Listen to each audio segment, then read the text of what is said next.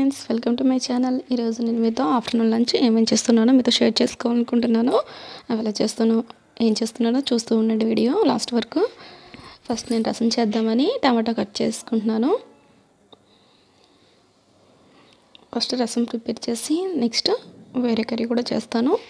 First మనం ఇలా cut చేసుకుని టమాటా మిక్సీ జార్లో వేసుకుంటున్నాను. సారీ నేను వేరే టమాటా ఉందని అది పక్కన పెట్టేసి కట్ చేయన వద్దా అని చూస్తున్నాను. అది కట్ చేస్తాను. వేరే గిన్నె టమాటా ఉంటుంది కదా అది కూడా తీసుకుని అది హాఫ్ కట్ చేస్తున్నాను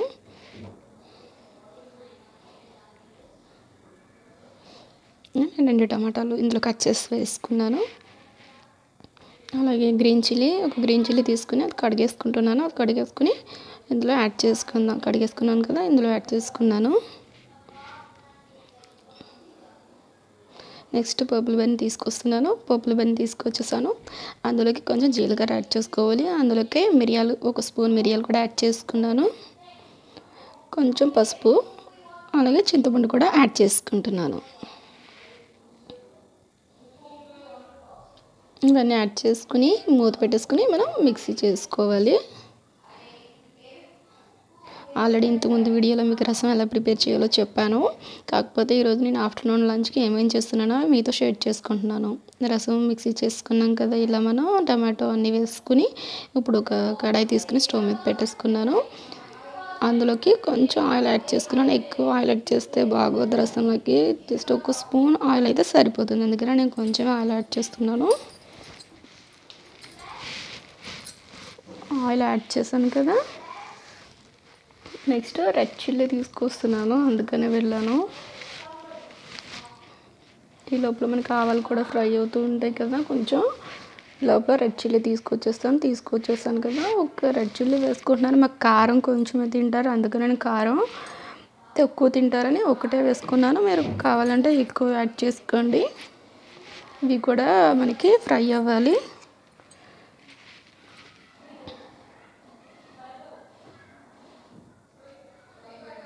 ఈ లోపల కరివేపాకు కూడా తీసుకురావడానికి వెళ్ళాను. ఫ్రిడ్జ్లో ఉంది. అది కూడా తీసుకొచ్చేసి ఇందులో వేసేసుకుందాము. కరివేపాకు కూడా ఇందులో యాడ్ చేసేసుకున్నాను.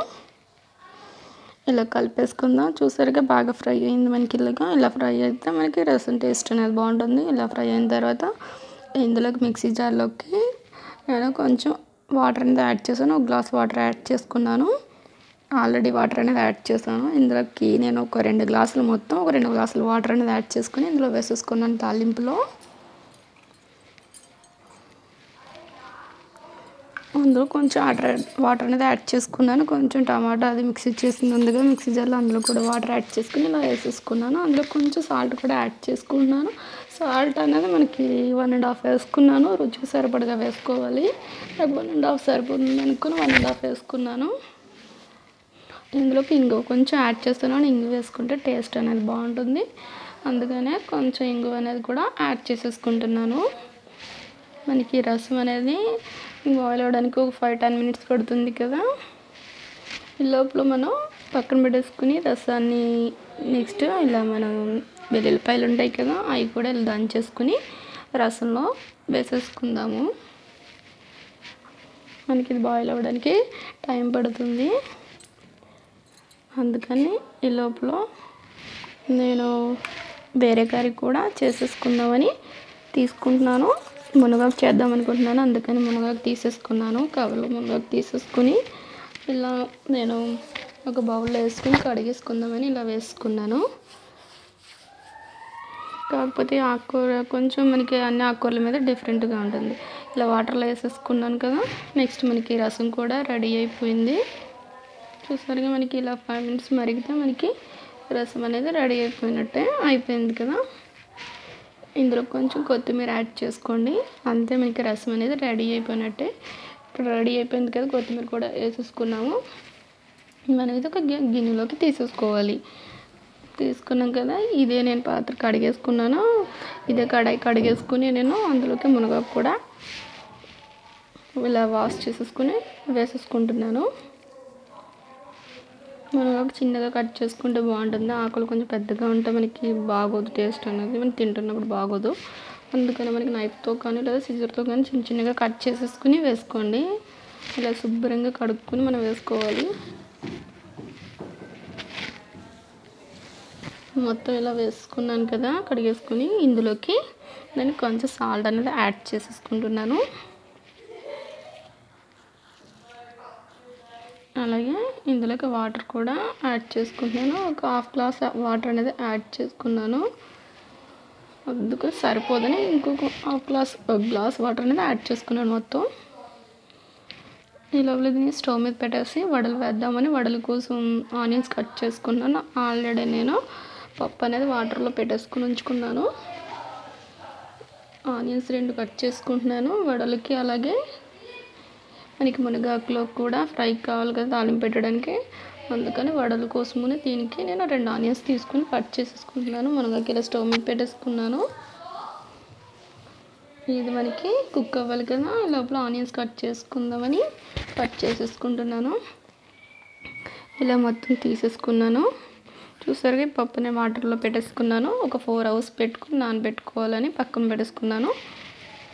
ఇంకా కొంచెం నానడానికి టైం పడుతుంది పప్పు. ఇంకా కొంచెం బాగా నానాలి. నేను చాపర్ తీసుకుంటున్నాను. ఆనియన్స్ కట్ చేసుకోవడానికి చాపర్ అనేది చాలా బాగుంది. చూడండి ఇలా కట్ చేస్తున్నాను. మనం ఇలా కట్ చేసుకుని ఇందులో వేసుకోవాలి. చాలా చిన్నగా కట్ అవుతుంది. చాలా బాగుంది. ఇందులో క్యారెట్ కూడా కట్ చేసేసుకోవచ్చు. బీట్రూట్ కట్ చేసుకోవచ్చు. చాలా చాలా చాలా బాగుంది. చూస్తూ ఉండండి. ఎలా వస్తాయి ఆనియన్స్ ఇందులో కట్ చేసి నేను చూపిస్తూ ఉంటాను. చూడండి. ఇలా మొత్తం ఆనియన్స్ని కట్ చేసుకుని రెండు ఆనియన్స్ ఇందులో వేసేసుకున్నాను. మనకి ఏ సైజులో కావాలో ఆ సైజులో మనం కట్ చేసుకోవాలి. మూత పెట్టేసుకుని పెట్టేసుకున్నాను కదా. ఇప్పుడు మనం ఒకసారి ఇదంతా క్లీన్ చేసేసుకుంటే మీకు ఎలా చేయాలో చూపిస్తాను. ఇది కూడా ఇవన్నీ తీసేసుకుంటున్నాను. ఇవన్నీ ఫస్ట్ మనం తీసుకుని అప్పుడు చూ చేద్దాము. చూసారుగా ఇప్పుడు క్లీన్ చేసుకున్నాను. ఇప్పుడు ఎలా చేయాలో చూపిస్తున్నాను. చూసారుగా మనలో ఒక త్రీ ఫోర్ టైమ్స్ మనం చేస్తే మనకి చిన్నగా అయిపోతాయి. ఇలా మనకి ఈ సైజులో వచ్చి కావాలంటే ఇంకా చిన్నగా కూడా కట్ చేసుకోవచ్చు. వడల్లోకి అయితే ఇంకా చిన్నగా ఉంటే బాగుంటాయి. నేను గ్రీన్ చిల్లీ మర్చిపోయాను. అందుకని ఇప్పుడు యాడ్ చేస్తున్నాను. ఇంకా చిన్నగా ఉన్న ఆనియన్స్ బాగానే ఉంటాయి కదా అని ఇంకా చిన్నగా కట్ చేసేస్తున్నాను.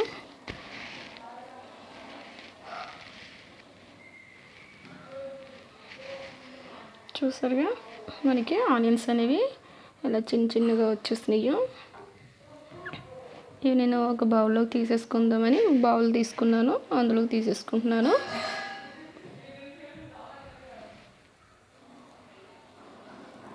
చాలా చక్కగా చిన్న చిన్నగా వచ్చినాయి కదా. ఇందులో క్యారెట్ కూడా చాలా చిన్నగా వస్తే చాలా బాగా వస్తుంది. బీట్రూట్ కూడా ఇందులో కట్ చేసుకోవచ్చు మనం చిన్నగానే మనం ఎలా తురుముకుంటాం అలాగే వచ్చేస్తుంది. చాలా బాగుంటుంది. మూత కూడా మనం ఇలా తీసేసుకుందాం. కాకపోతే మూతను మనం ఎక్కువగా వాష్ చేయకూడదు. ఎందుకంటే దీనికి చూడండి థ్రెడ్ ఉంది కదా. ఈ థ్రెడ్ మనకి పోతుంది ఎక్కువగా వాష్ చేస్తే. అందుకని మనం క్లాత్తో క్లీన్ చేసుకోవడం బెటర్ మనకి. ఇవి పక్కన పెట్టేసుకుంటున్నాను వాష్ చేసుకోవడానికని. నెక్స్ట్ ఈ ఆనియన్స్ తీసుకున్నాను కదా ఈ పక్కన ఇవి కూడా పక్కన పెట్టేసుకుందాము. ఈ లోపల మనకు వడల కోసం నేను కొత్తిమీర కూడా కట్ చేసేసుకుంటున్నాను. చిన్న చిన్నగా కట్ చేసుకుంటున్నాను. అవి కట్ చేసేసుకుని ఒక బౌల్లో వేసేసుకున్నాను. నెక్స్ట్ నేను కరివేపాకు కూడా తీసేసుకుని కరివేపాకు కూడా కట్ చేసుకుంటున్నాను. పెద్దగా ఉన్నాయి కదా అందుకని కట్ చేసుకుంటున్నాను. చిన్నగా ఉంటే డైరెక్ట్గా వేసేసుకోవచ్చు. ఇలా తీసేసుకుని కరివేపాకు వాటర్లో కడిగేసుకున్నాను. ఇలా కడిగేసుకున్నాను. చిన్న చిన్నగా కట్ చేసేసుకుంటున్నాను. చూసారా? ఇలా వాష్ చేసుకున్నాను. వాష్ చేసుకుని ఇలా నైఫ్తో చిన్న చిన్నగా కట్ చేసేసుకుంటున్నాను.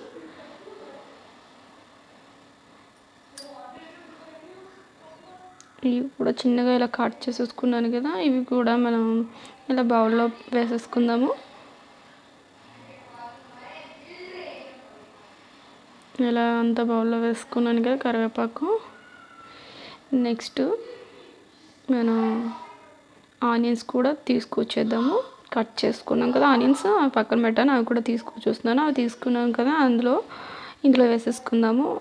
మనం ఆల్రెడీ గ్రీన్ చిల్లీ కూడా ఆనియన్స్ రెండు కలిపి కట్ చేసేసుకున్నాం కదా అందుకని ఇంకా గ్రీన్ చిల్లీ అవసరం లేదు. ఇందులో వేసుకున్నాను onions green chilli. Next ginger garlic paste కూడా నేను ఒక హాఫ్ స్పూన్ యాడ్ చేయండి. టేస్ట్ అనేది చాలా బాగుంటుంది. ఇంతకుముందు వీడియోలో కూడా నేను మీకు వాళ్ళు ఎలా చేయాలో చెప్పాను. కాకపోతే అందులో నేను ఓన్లీ జింజర్ మట్టుకు వేసాను. జింజర్ ఒకటే వేసాను.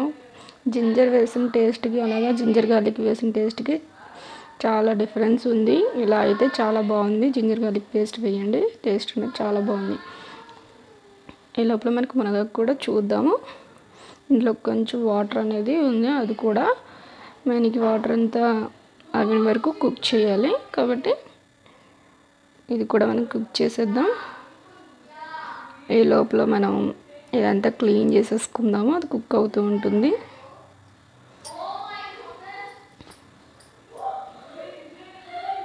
ఇలా అన్నీ తీసేసి మొత్తం నేను ఇలా క్లీన్ చేసేసుకుంటున్నాను. అది కుక్ అవుతూ ఉంటుంది కదా అని. ఇలా పక్కన ఫస్ట్ నేను ఇది క్లీన్ చేసేసుకుంటున్నాను. తర్వాత మనం ఇది ఇంత క్లీన్ చేసేసుకునేసరికి మనకి మునగాకు కూడా కుక్ అయిపోతుంది. మనకి మునగాకు అన్ని ఆకుకూరల కంటే కొంచెం టేస్ట్ అనేది డిఫరెంట్గా ఉంటుంది. కాకపోతే మనకి ఇది హెల్త్కి చాలా మంచిది. అందుకని మీరు మన హెల్త్ కోసమన్నా మనం అప్పుడప్పుడు తిందాం ఇది. దీని యొక్క బెనిఫిట్స్ గురించి కూడా నేను నెక్స్ట్ వీడియోలో చెప్తాను. మనకి ఇది కుక్ అయిపోయింది కదా. ఇప్పుడు దీన్ని కూడా ఒక బౌల్లోకి తీసేసుకుందాము.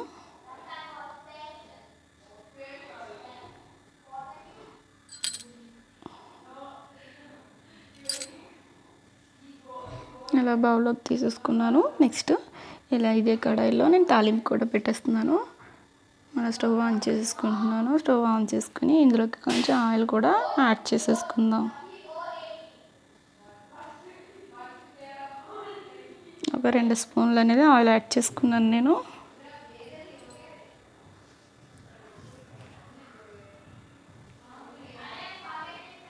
ఆయిల్ హీట్ ఎక్కిన తర్వాత ఇందులోకి శనగపప్పు కూడా ఒక స్పూన్ అనేది యాడ్ చేస్తున్నాను. అలాగే ఆవాలు ఒక హాఫ్ స్పూన్ యాడ్ చేస్తాను ఇవి మనకి కొంచెం ఫ్రై అవ్వాలి. కాబట్టి ఈ లోపల నేను కొబ్బరి తురిమి కూడా రెడీ చేసుకుంటున్నాను. ఆనియన్స్ ఆల్రెడీ కట్ చేసుకున్నాను కదా. ఇవి ఫ్రై అవుతూ ఉంటాయని కొంచెం నేను కొబ్బరి తురుము కూడా రెడీ చేసుకుంటున్నాను. చూసారుగా మనకు ఫ్రై అవుతూ ఉన్నాయి. ఇది కూడా మనం కలుపుకుంటూ ఉందాము. ఇవి ఫ్రై అయిన తర్వాత అప్పుడు మనం ఆనియన్స్ యాడ్ చేసుకుందాం.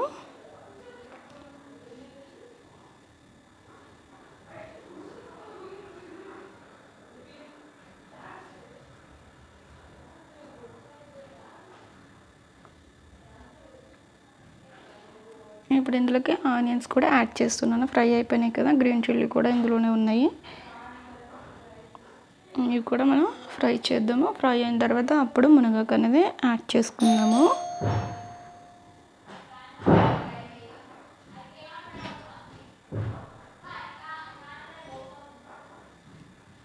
చూసారుగా మనకి ఇది ఫ్రై అయిపోయింది. ఇప్పుడు మనం మునగాకు కూడా యాడ్ చేసేసుకుందాం. మునగాకు కూడా యాడ్ చేసుకుని మనం ఇలాగా కలిపేసుకోవాలి.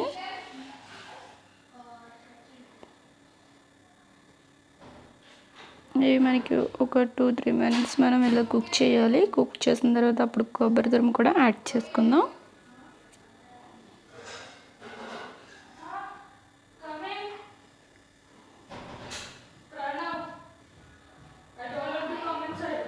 మనకి ఇలాగ కొంచెం ఫ్రై అయినాయి కదా ఇప్పుడు కొబ్బరి తురుము కూడా తీసేసుకుందాం. ఆల్రెడీ రెడీ చేసుకున్నాను కదా కొబ్బరి తురుము అది కూడా యాడ్ చేసేసుకుంటున్నాను ఇందులోకి. కొబ్బరి తురుము కూడా యాడ్ చేసుకున్న తర్వాత ఒక టూ మినిట్స్ మనకి పచ్చి వాసన పోతుంది కదా అందుకోసం నేను ఇలా ఒక టూ మినిట్స్ పాటు ఫ్రై చేస్తున్నాను.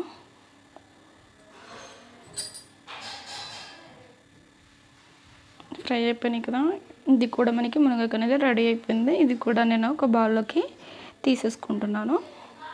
అంతే మనకి మునగాకు ఫ్రై అనేది రెడీ అయిపోయింది. మీరు కూడా తప్పకుండా ఈ రెసిపీ అనేది ట్రై చేయండి మనకి. హెల్త్కి చాలా మంచిది ఇది. మనకి మునగాకుతో సూప్ కూడా తయారు చేస్తారు. అది కూడా మనం చేసుకొని తాగొచ్చు. ఉంది కదా అది కూడా క్లీన్ చేసుకుంటున్నాను.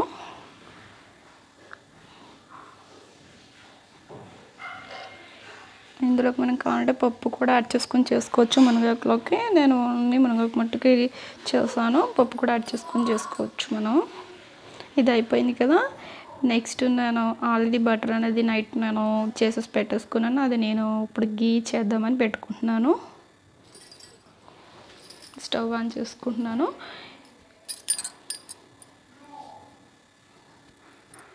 ఇది ఆల్రెడీ నైట్ అనేది నేను చేసేసుకున్నాను బటర్ అనేది. ఇప్పుడు గీ చేసుకుందామని స్టవ్ మీద పెట్టేసుకుంటున్నాను. ఆల్రెడీ ఇంతకుముందు వీడియోలో కూడా మీకు బటర్ ఎలా చేయాలో గీ కూడా అలా చేయాలో చెప్పాను. మన మిక్సీ జార్ అవసరం లేకుండా అలాగే హ్యాండ్ కూడా మనం పెట్టకుండా గీ అనేది చేసేసుకోవచ్చు. ఇలా కపం ద్వారా నేను చేస్తాను చూడండి.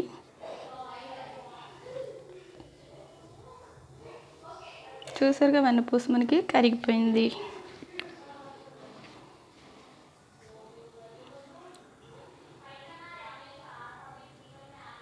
మనకి ఇది గీ అనేది రెడీ అవుతూ ఉంటుంది. నెక్స్ట్ మనం వేరే కూడా పప్పు కూడా మిక్సీ చేసేసుకుందాం. పప్పు ఫోర్ అవర్స్ వాటర్లో బాగా నానింది. ఇప్పుడు నేను దాన్ని మిక్సీ జార్లో వేసేసుకుంటున్నాను. ఇలా వేసేసుకున్నాను కదా వేసేసుకుంటున్నాను. ఇంకా ఉంది కొంచెం. అది కూడా ఇందులో వేసేసుకున్నాను. అది కూడా వేసుకున్న తర్వాత మనం ఇందులోకి గ్రీన్ చిల్లీ కూడా యాడ్ చేసుకుందాం. నేను ఒకటే యాడ్ చేస్తున్నాను. ఎందుకంటే ఆల్రెడీ నేను ఆనియన్స్లో గ్రీన్ చిల్లీ కూడా కట్ చేసుకుని పెట్టుకున్నాను. అందుకని ఒక గ్రీన్ చిల్లీ యాడ్ చేసుకుంటున్నాను. తర్వాత ఇది మిక్సీ చేసేసుకుందాం. ఈ లోపల గీ కూడా మనం చూద్దాము. గీ కూడా మనకి రెడీ అయిపోతుంది చూసారుగా మనకి ఇలా నురగలా బాగా వైట్గా ఫామ్ అవుతుంది కదా. అప్పుడు మన గీ అనేది రెడీ అయిపోతుంది. బ్రౌన్ కలర్లో వస్తుంది. మీరు గీ కూడా ఇంతకుముందు వీడియోలో చెప్పాను. కావాలంటే మీరు అది కూడా చూడండి. చూసారుగా ఇప్పుడు గీ రెడీ అయిపోయింది. లోపల మనం ఇది మిక్సీ చేసుకుందాం. అది రెడీ అయిపోయింది కదా. మిక్సీ కూడా చేసుకుందాం. చూసారా? మిక్సీ చేస్తాను. తీసి చూద్దాము ఎలా ఉందో. చూసారుగా? అలా మెత్తగా నేను బాగా మెత్తగా చేసుకోకూడదు. నేను చేసి చూపించానుగా ఆ విధంగా చేసుకోండి. ఆల్రెడీ నేను అన్నీ కట్ చేసి పెట్టుకున్నాను కదా కొత్తిమీర కరివేపాకు జింజర్ గార్లిక్ పేస్ట్ ఒకటి ఆనియన్స్ గ్రీన్ చిల్లీ ఇవన్నీ నేను బౌల్లో వేసుకున్నాను ముందే.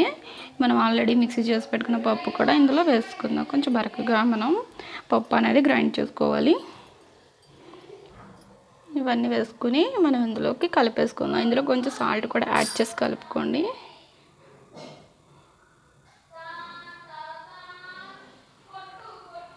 మొత్తం అంతా ఇలా బాగా కలుపుకోవాలి మనం. అలా కలిపేసుకుంటున్నాను మొత్తం.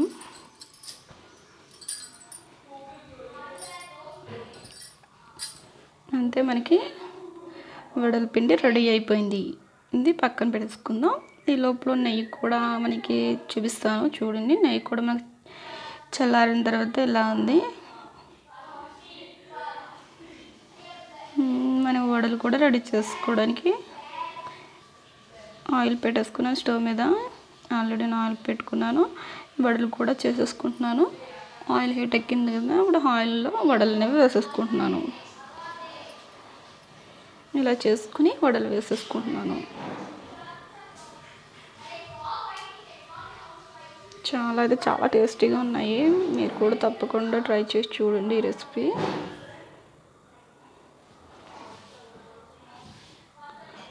మనకి బ్రౌన్ కలర్ వస్తాయి కదా అప్పటి వరకు మనము వడలు అనేవి ఫ్రై చేయాలి. నేను బ్రౌన్ కలర్ వచ్చే వరకు ఫ్రై చేస్తున్నాను. చూసారుగా ఒక పక్కన వేగిపోయినాయి.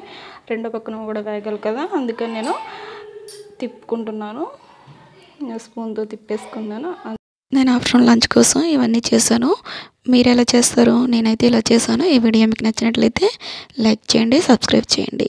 Thanks for watching.